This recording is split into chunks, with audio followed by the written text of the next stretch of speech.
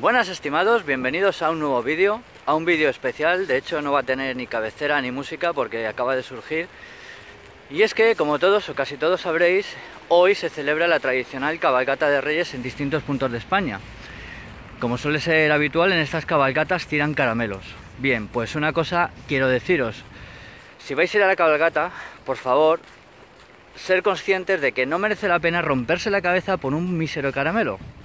¿Vale? La cabalgata es un punto para disfrutar. No es una competición para ver quién coge más caramelos. No, al final de ella no va a haber premio a los tres mejores, a los tres que más caramelos hayan conseguido. La verdad no merece la pena. Tampoco es necesario que os llevéis un paraguas y lo pongáis del revés para que os caigan los caramelos dentro. Entre otras cosas porque cogeréis 50 millones de caramelos y al final estos caramelos terminarán en la basura. Porque es así, os coméis uno, dos y poco más. La cabalgata es un punto para que los chavales disfruten. Los chavales, mayores, pequeños, todo el mundo. Así que no merece la pena partirse la cabeza por un caramelo, ni pegarse con el vecino de al lado por el hecho de coger un caramelo más o menos.